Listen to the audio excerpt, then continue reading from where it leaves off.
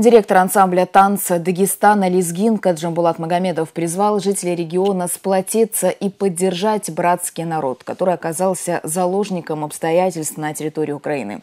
Он выразил уверенность, что победа близка, необходимо сделать все, чтобы ускорить ее наступление.